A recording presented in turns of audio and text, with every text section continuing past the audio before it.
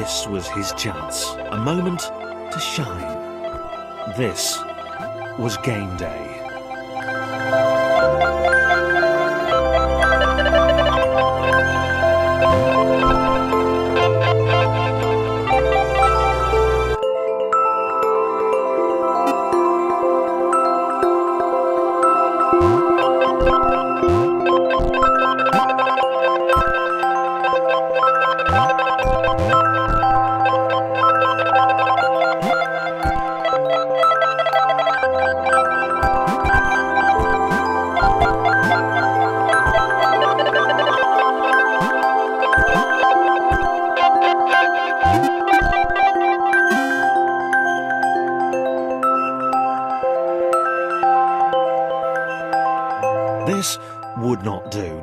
Needed room to show off his exceptional skills. As it was, he was trapped on the wrong side of these little dot things. Where did they come from, anyway?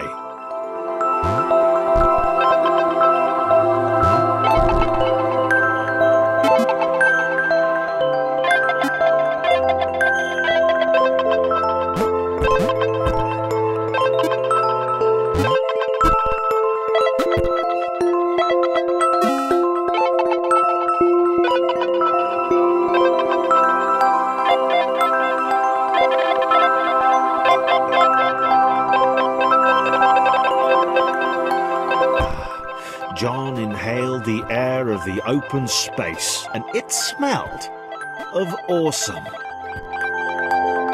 Time to flex those muscles, to put his training to use, time to show those little dots how it was done.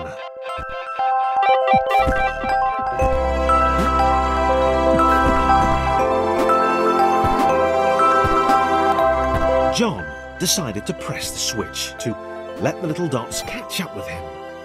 John cared for his new allies. You could tell from the sympathetic expression he practiced in the mirror all these years.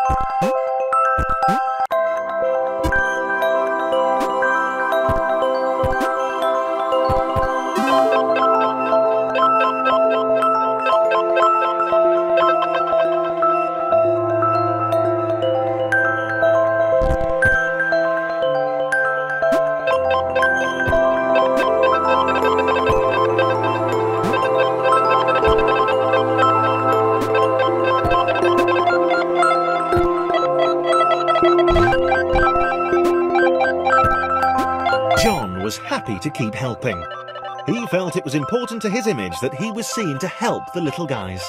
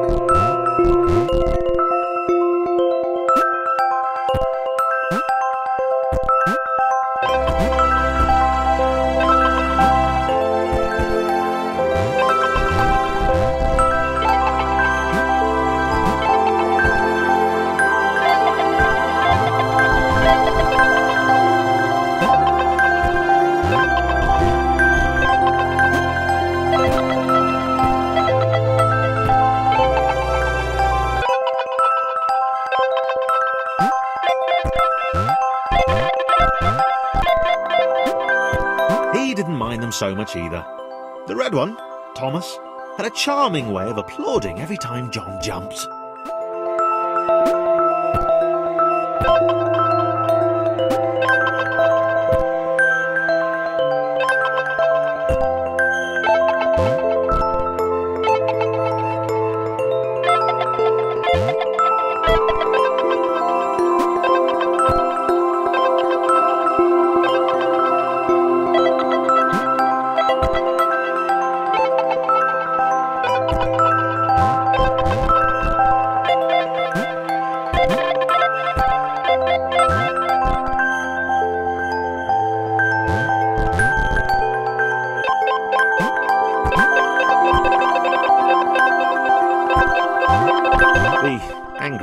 One was less immediately likeable, but his unremitting cynicism and tutting amused John.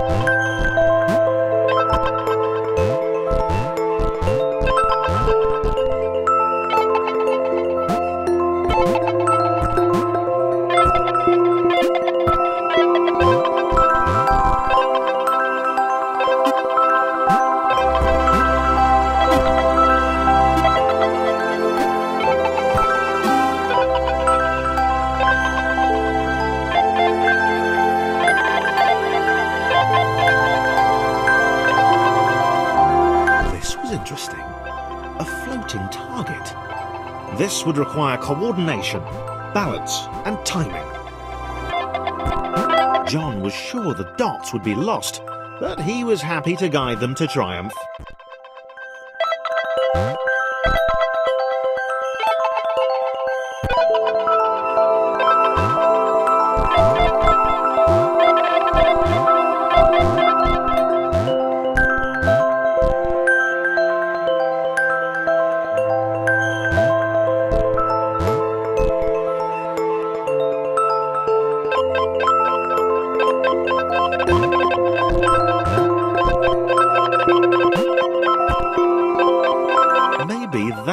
The dots were for.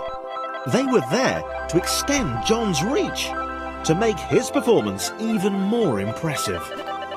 John liked the thought. He decided to keep them.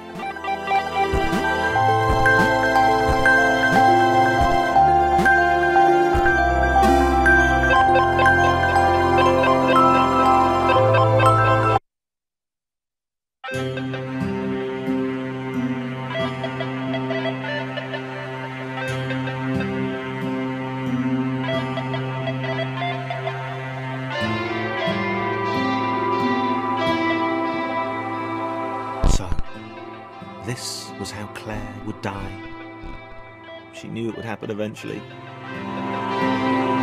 She was rubbish at jumping, and she moved slowly. She felt a little like her continued existence was breaking some kind of natural order. The crumbling pillar was a dramatic death, she supposed. Wait, what? Claire couldn't shake the feeling that she was not, in fact, dead. It was at that moment that Claire realised she had superpowers.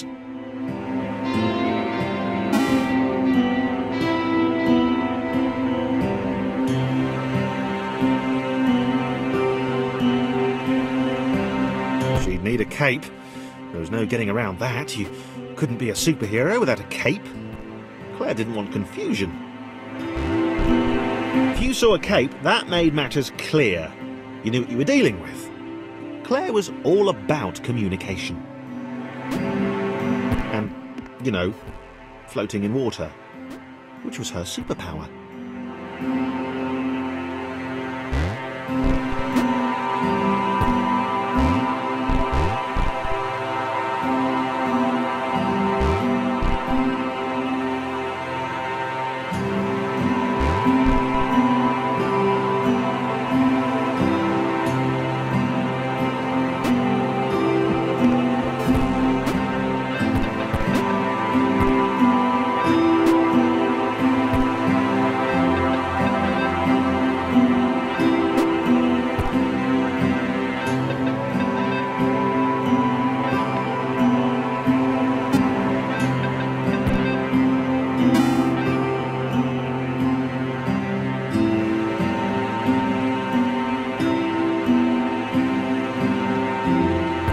Right! Fear not, my skinny friends, for I am Claire, and I will save you. Claire needed to come up with a superhero name as soon as possible. Claire was rubbish.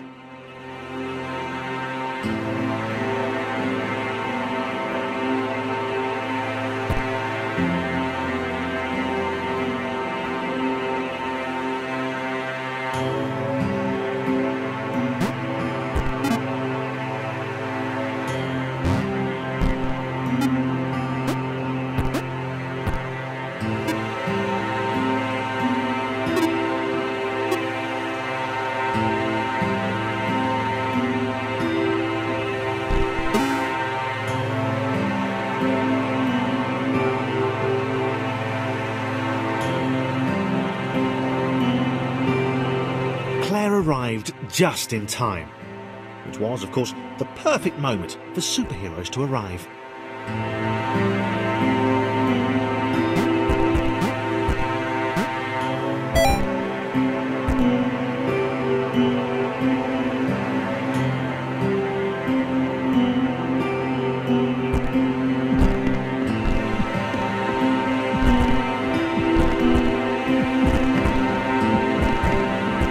Water began to rise, Claire vowed to save this little rectangle in as many restarts as it took.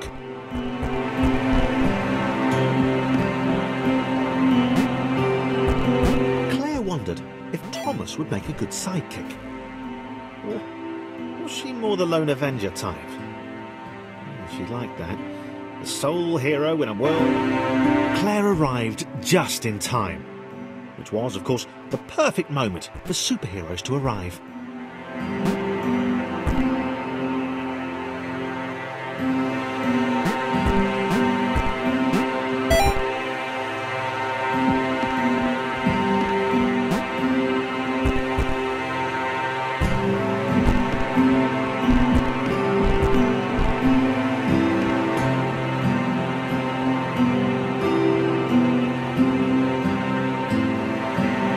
Water began to rise, Claire vowed to save this little rectangle in as many restarts as it took.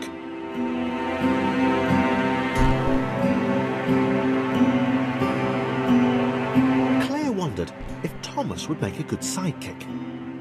Or was she more the lone Avenger type? She'd like that. The sole hero in a world of rectangles and conveniently placed pools of toxic water.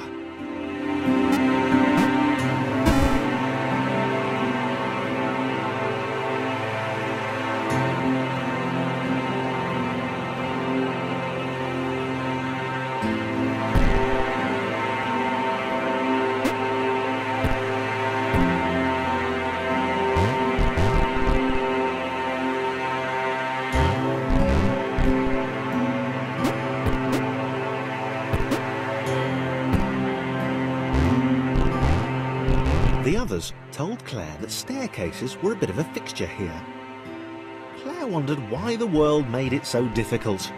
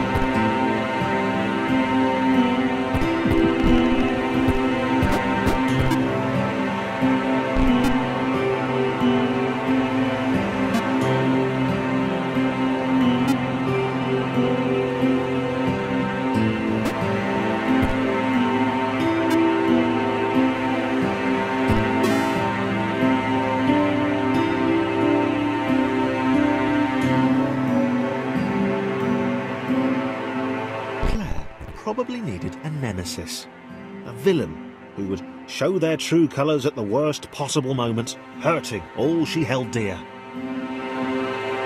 Chris was the most obvious choice. He seemed stroppy enough, and his jump was so pathetic that it conveniently avoided Claire's insecurities. Yes, Chris. Diabolical Chris. The fiendish Christopher.